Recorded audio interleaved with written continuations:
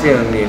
안녕. 어제 입국하셨는데 음. 미국에서 끝나고 어떻게 지내셨어요? 미국에서 대회 끝나고 일단 금요일 날 대회 끝나고 토요일, 일요일, 월요일은 그냥 3일 동안 쉬었어. 계속 먹고 자고 먹고 자고 했는데 아 나는 그 미국 음식이 힘들더라고. 너무 짜고 기름지고 그래가지고 그리고 막상 또 대회 끝나고 그렇게 먹고 싶었던 빵하고 도너츠 막 먹었는데 과자랑 쿠키랑 먹었는데 그렇게 맛이 없는 거야. 그래가지고 또 굳이 그 한국 사람들의 그 특징이 있잖아. 외국 나가서 한국 음식 찾는 거. 네. 그 우리 팀원들하고 같이 또 한국 식당 가고 한식 먹고 확실히 맛있더라고 한식이. 그냥 뭐 그렇게 먹고 쉬고 지내다가 어저께 들어와가지고 코로나 검사 받고 이제 음성 판정 받고 오늘 센터 처음 출근해서 나온 거지. 아, 지금도 상태가 좀 마탱이가 간 것 같아. 안 좋은 것 같아. 저번에 한 달 동안 운동 쉬신다고 하셨는데 음. 쉬시는 게 deloading을 하시는 건가요? 어, deloading. 아, 이게 deloading. 한 달 일단은 제가 이제 대회 전에 아, 이번에 올림피아 끝나면 관절이나 인대들 좀 쉬는 시간을 줘야 될 것 같아서 한 달 정도 운동을 쉴 생각이다라고 말씀을 드렸는데 어, 일단은 쉴 계획입니다. 쉴 계획이고 이제 요번 주하고 다음 주까지 해서 2주일 동안은 운동을 아예 쉴 생각이야. 아예 그냥 내려놓을 생각이고 한 10일 정도. 그 다음에 10일 이후에는 하루에 한, 한 부위당 한 20분에서 30분 정도. 뭐 가슴을 예를 들면 머신 위주의 벤치프레스 한 4, 5세트. 그 다음에 뭐 decline 뭐 한 3, 4세트. cable fly 아니면 뭐 machine fly 같은 걸로 한 3, 4세트. 요렇게 한 총 세트는 한 12세트 내외로 해서 한 20분에서 길면은 한 30분 정도만 훈련을 할 생각이고 그리고 중량도 평소에 다루던 중량의 한 절반 정도만 자극을 좀 가져가는 쪽으로만 운동을 하려고 하는데 이제 어떻게 보면 그게 휴식이지 형한테는 휴식으로 볼 수 있는 거고 완전히 운동을 내려놓기에는 좀 수행 능력이 떨어지는 것도 있고 다시 이제 해서 조금 몸에 부담이 될 수도 있는 거기 때문에 그냥 살짝살짝 그 부위를 건드려 준다는 정도 그렇게 한 10일은 아예 쉬고 2주 정도는 2, 30분씩 살짝살짝 건드는 쪽으로 하려고 해. 내가 아까 그 진영이 네가 말한 것처럼 디로딩 네.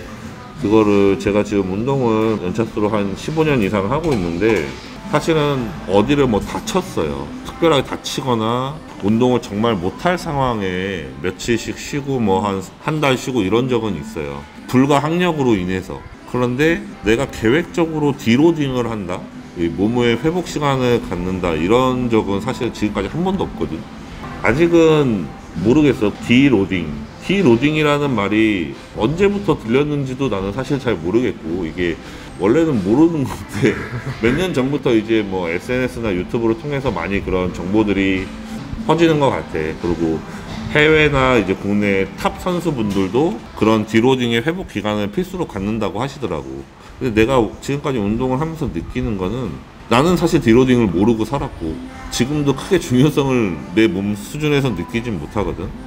어디가 특별히 뭐 관절이나 인대가 마탱이가 가서 회복을 해야 돼서 불가항력으로 쉬는 거는 어쩔 수 없지만 내가 아 몸에 회복기를 줘야겠어.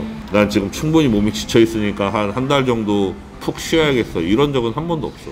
그래서 그 신기해 그그 디로딩에 대해서 이렇게 많이 논하시는 분들의 몸 상태를 이렇게 보잖아. 형도 사람이다 네. 보니까.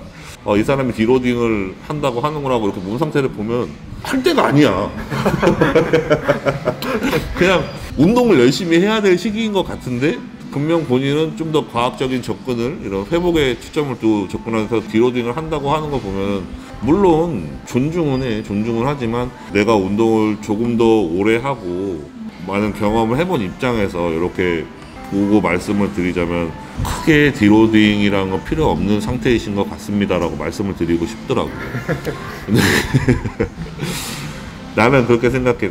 식단, 영양, 올바른 영양이 뒷받침이 되고 하루에 한 6시간 이상의 수면, 질이 좋은 수면이 받침이 되고 운동 하루에 한 번 정도 또는 본인이 체력이 허락한다라고 하면 하루에 두 번도 괜찮지 영양과 휴식이 받쳐진다라고 하면 그렇게 운동이 충분히 된다라고 하면 사실은 큰 휴식도 필요 없다고 생각을 해. 뭐 일주일에 한 번 정도 쉬는 거 이런 것들은 내 생각에는 국가대표들 이제 뭐 태릉 선수촌 같은 데 가서 운동하는 영상 다큐 영상 같은 거 너네 본 적 있니?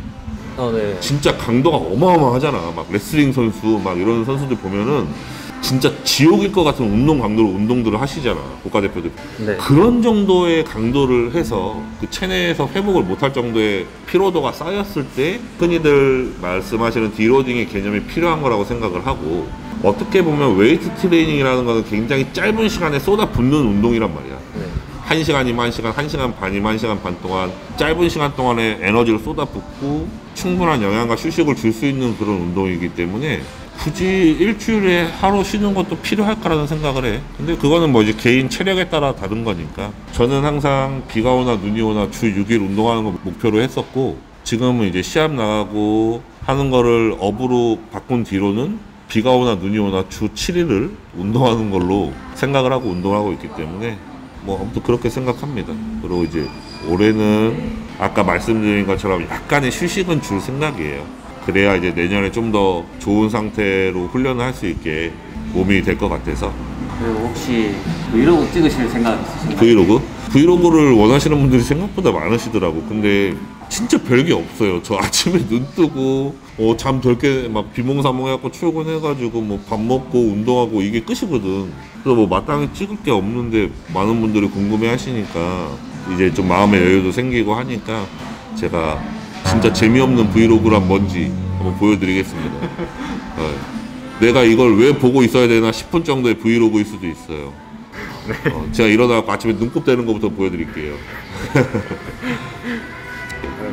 여기까지 아, 하겠습니다. 그러면 또 다음에 다음에 이제 2주차의 휴식까지 끝나고 제가 간단하게 이제 운동을 어떤 식으로 접근을 해서 조금씩 조금씩 풀어 나가는지에 대해서도 보여드리겠습니다. 그리고 뭐 비시즌의 식단은 어떻게 하는지에 대해서도 그렇고 감사합니다.